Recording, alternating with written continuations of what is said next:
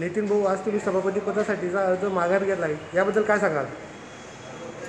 आज स्थायी समिती सभापतीसाठी मी जो उमेदवारी अर्ज दाखल केला होता त्या संदर्भात आमचे ज्येष्ठ नितीन भाऊ लड्डा शरद तायडे सुनील भाऊ महाजन प्रशांत भाऊ नाईक आणि जळगाव शहराचे आपले आमदार राजूमामा भोळे दीपक भाऊ सूर्यवंशी विशाल भाऊ तायडे कैलास आप्पा सोनवणे.